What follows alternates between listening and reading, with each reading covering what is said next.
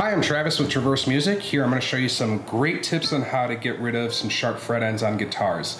Many of you might experience sharp fret ends on some lower end new guitars or a guitar that's been sitting around for a long time. You just pulled it out and want to start playing again and you run your finger up and down the fretboard and you feel like there's something sharp.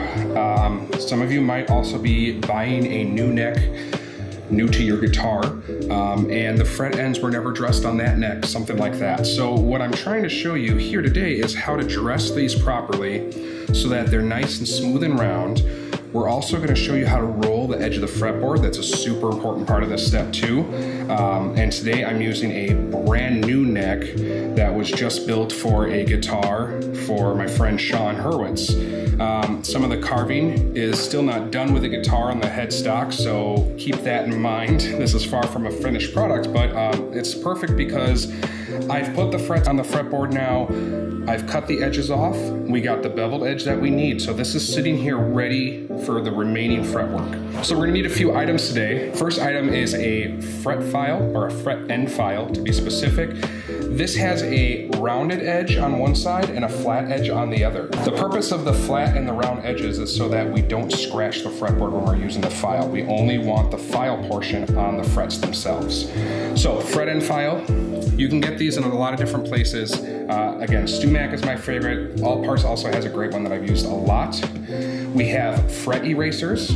These specific ones are from Crimson Guitars. That's a company over in the UK. They make some really, really, really cool builds. They have a fantastic YouTube channel. Uh, highly recommend checking them out. Um, here are some StewMac fret erasers. We can use those. Some of you might prefer to use sandpaper for your fret end file. Here's an example of what you can get for that. I'm not a huge fan, but I figured I'd show you guys what that was anyway. This is a piece of micro mesh. You can see it's been used quite a bit. Um, it's very, very black, and that's because I only use it for fret ends. So this is one that's been used a lot. I'll keep using it until it starts breaking up or not working anymore. Um, but this is a piece of micro mesh. I think it's about 12,000. So the grit's 12,000. That's pretty, pretty darn light. Um, I did bring out this StewMac fret file. And this is super important if you still need to get your beveled edge on the end of your frets. Now, like I said, this one's set to go. It's got the angle that I want it at, but if you needed more, this is the file that I specifically use. I hold it at an angle about here, and I run my hand across and get that fret angle that I want. This is a fantastic tool. Highly recommend this for anybody that's doing extensive fretwork. Last few things, I keep a brush around just because I'm constantly brushing stuff off to see my work. I have some 220 grit sandpaper and I have some 400 grit sandpaper. Lastly, you might need some tape. This guitar we don't need to tape off because there's no body attached to the end of it. But if this was on a body, we don't need to take the neck off to perform this. We would just tape up the areas of the guitar that we might accidentally touch with our fret end file or anything else so that we're not scratching any finish work. So tape is fantastic. Um, highly recommend it. Even just your everyday masking tape will work just fine for that. So today we're going to focus on the first three frets of this fretboard, um, specifically for the fret end stuff. But what I'm about to do in this first step, I'm going to apply to the entire length of the fretboard just so I don't have to redo it later. Um, but our specific fretwork is going to be those first three frets. So what I'm gonna do here is I got my 220 sandpaper.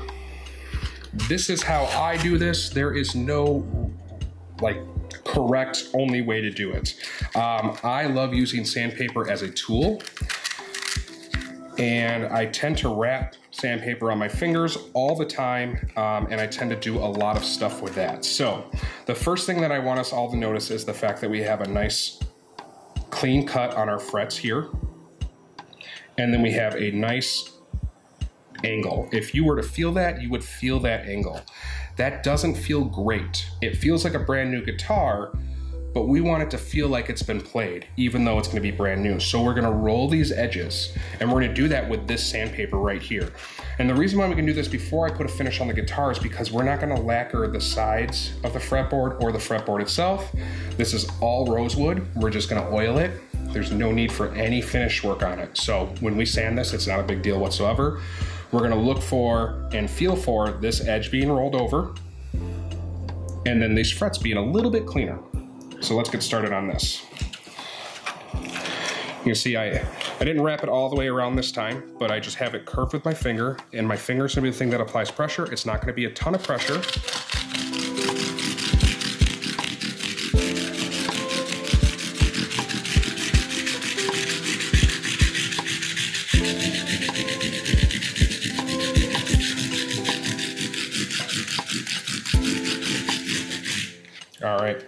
I've worn out that. I'm just gonna flip it over, use the other side.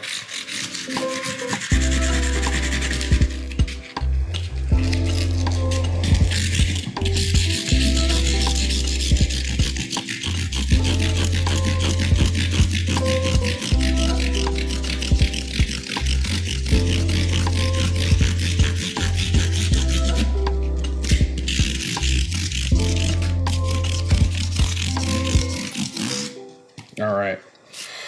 Brush comes in handy here.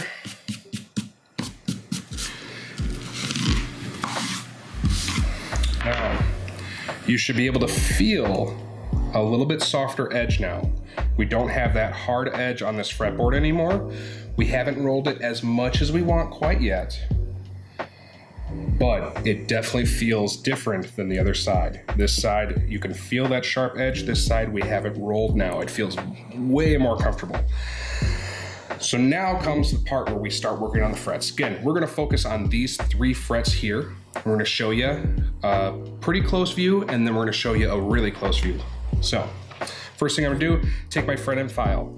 I'm taking the flat end and putting it down on the fretboard, and my goal is to nick off that tiny little edge.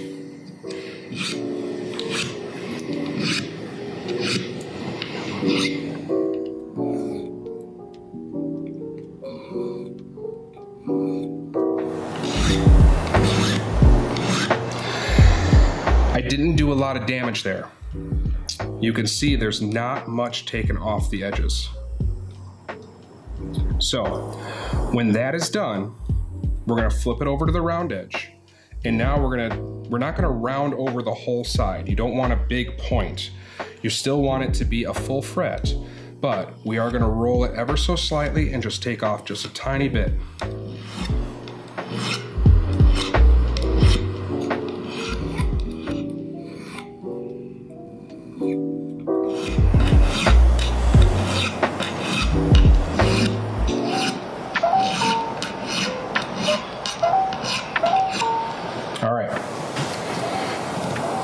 Like we haven't done anything, right?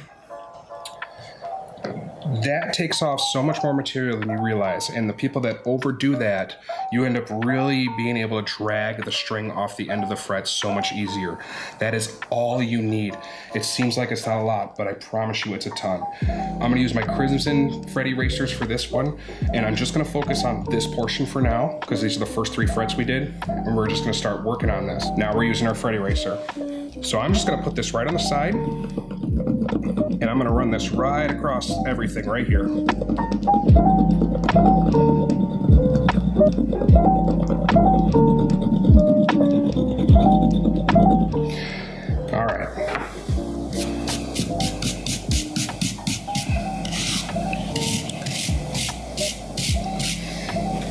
Now what I'm looking for is to make sure all my scratches from my file have been taken off with this. This ends up being about a 220 grit, which is what we started with with sandpaper. So if you wanted to use sandpaper instead of this fret eraser, you certainly can.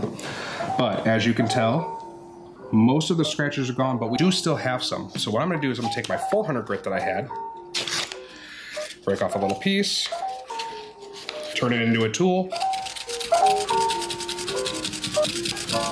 and I'm focusing more on the frets now to make sure all those scratches are completely gone.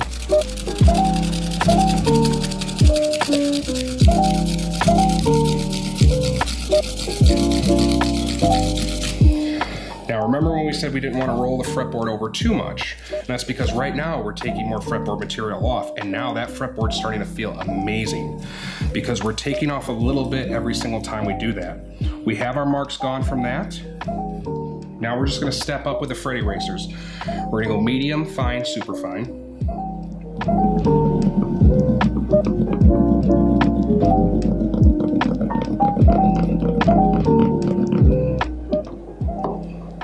Fine.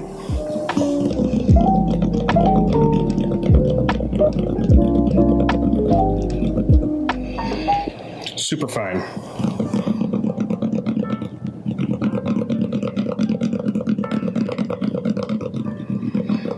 That was our super fine. I'm gonna brush it off real quick. You can see how nice and polished that edge is. Now we're gonna take that micro mesh. We're gonna go like this, and I focus on those frets.